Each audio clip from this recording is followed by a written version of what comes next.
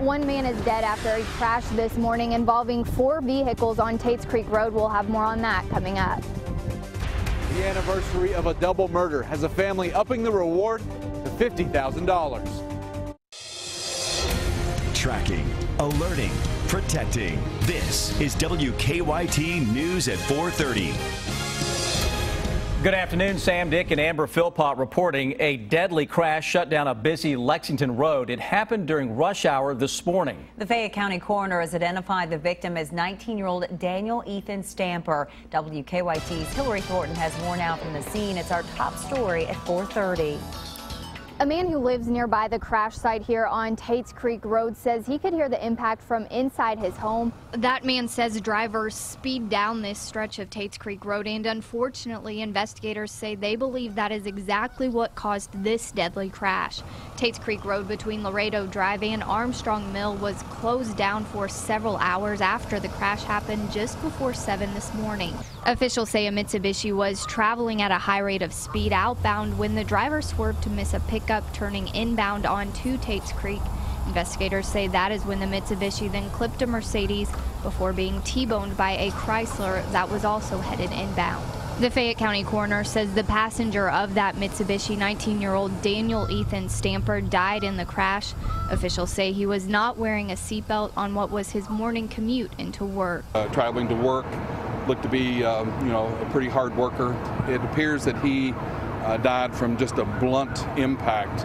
Uh, there's not that much as far as external injuries to him, so obviously there must be uh, quite a bit of internal, and there was a, a pretty good void in the Mitsubishi car.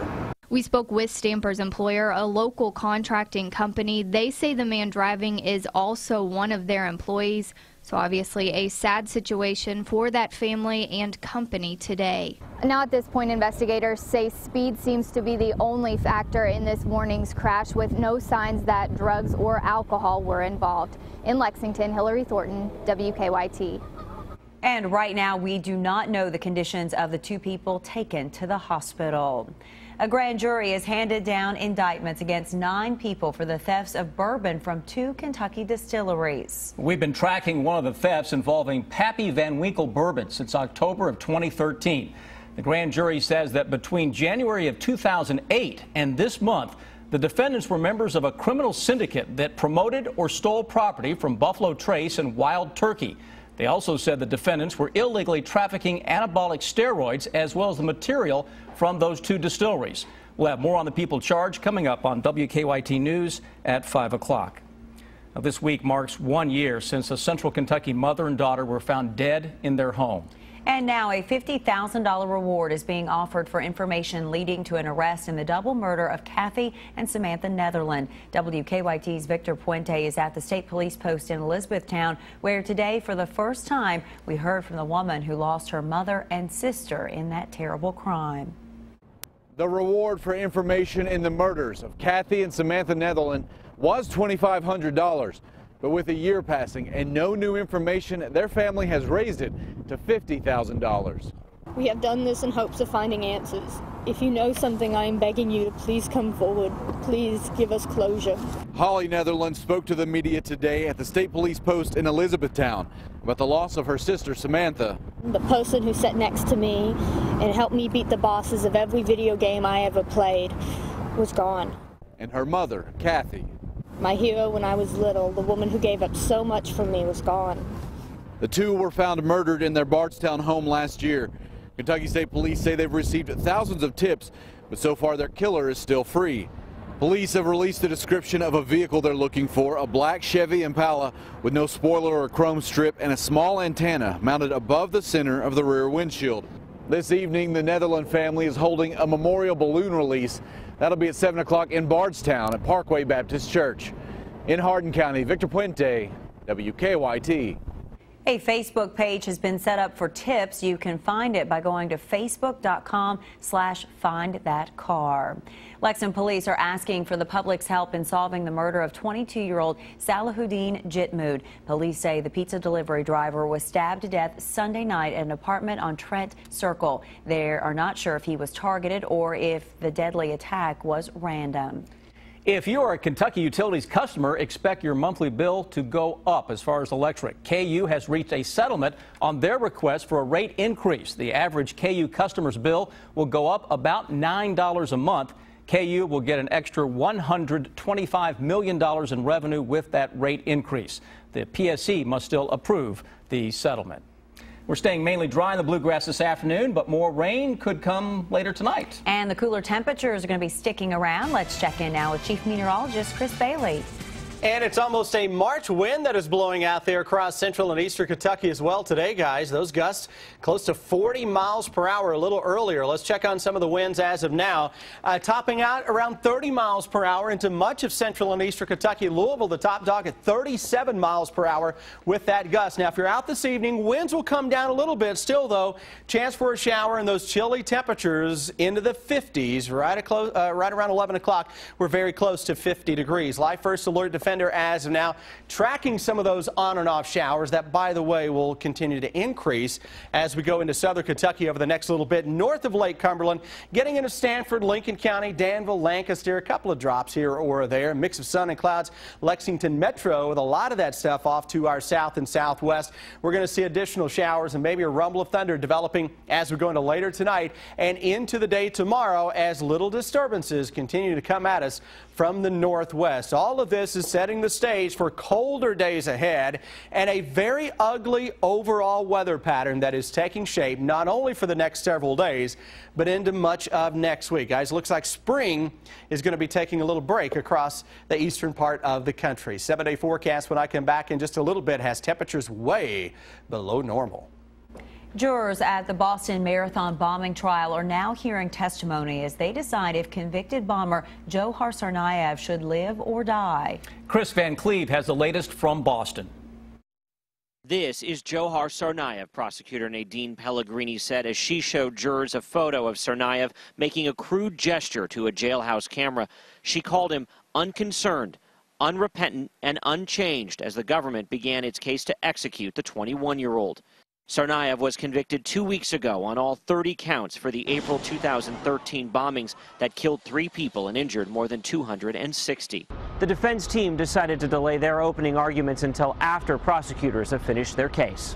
Tsarnaev's lawyers are hoping to convince the jury the convicted killer deserves a life sentence. They've argued throughout he fell under the influence of his radicalized older brother. But prosecutors say Dzhokhar was a full partner in the terror attacks.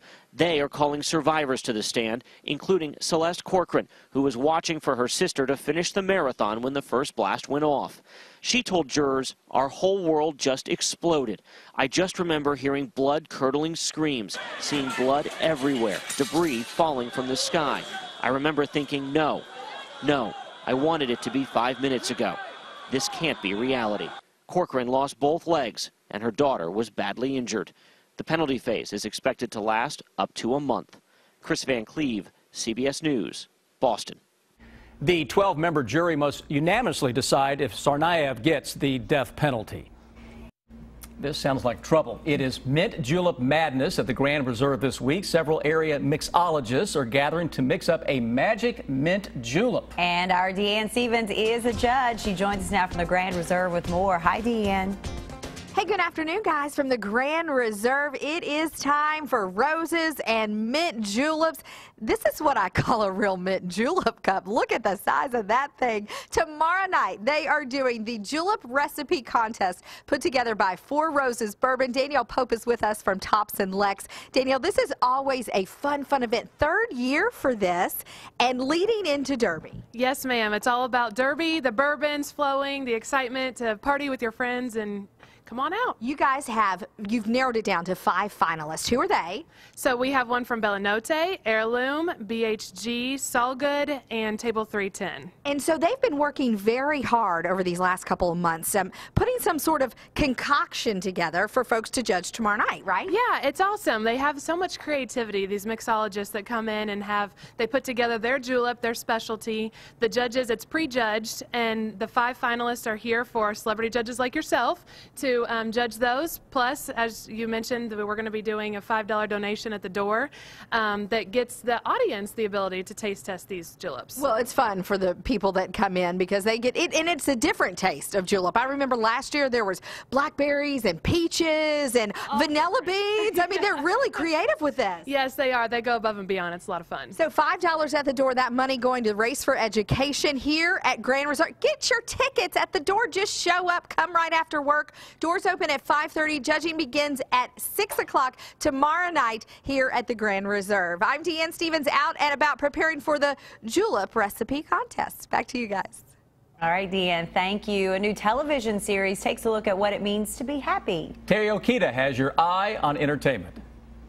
Smiles abounded on the red carpet for the premiere of Showtime's new series, Happy-ish.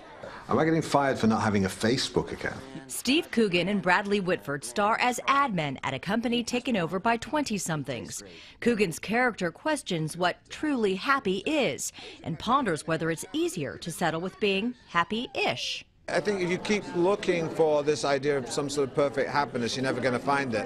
You just have to accept that life is going to have its ups and downs and uh, just get on with it. I think happy-ish is uh, probably as good as it gets. Yeah. Happy-ish premieres Sunday. Stand down. Chris Pratt is a dinosaur whisperer in the upcoming film Jurassic World. A new trailer is out, and audiences are getting a closer look at the genetically modified dinosaur that wants to destroy the theme park.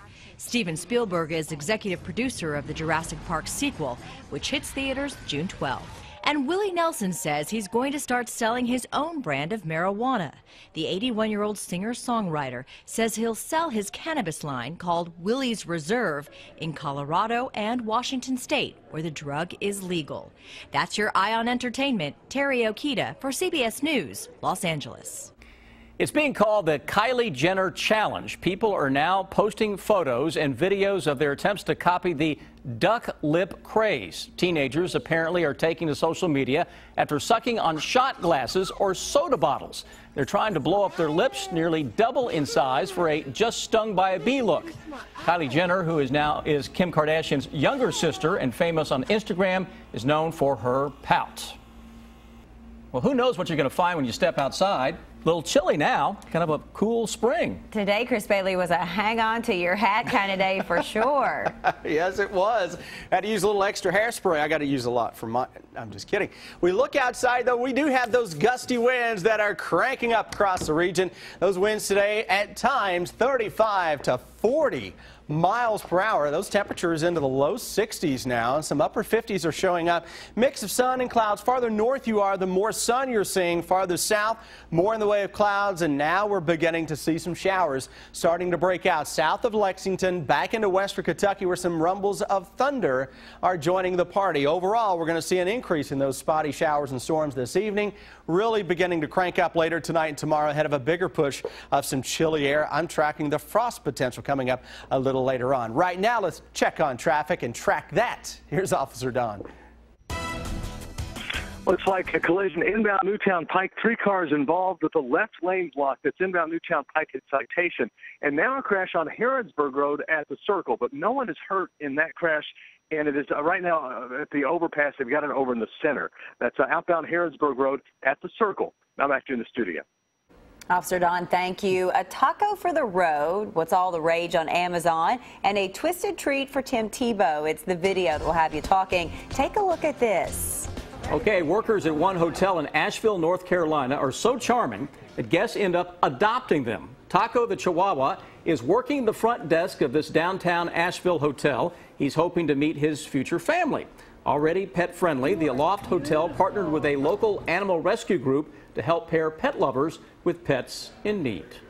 Grown-ups appear to be returning to a childhood favorite activity to relax. Adult coloring books are among Amazon's top 10 sellers, with themes ranging from nature and animals to classic paintings. The titles are being marketed to stressed out adults who want to benefit from the quiet zen that a coloring session can bring. One art therapist who has published several coloring books says coloring can lift the mood, reduce anxiety, and relieve stress. As to why more adults are investing in crayons and coloring books for themselves, themselves. It may have something to do with uh, easy online access and the desire to unplug.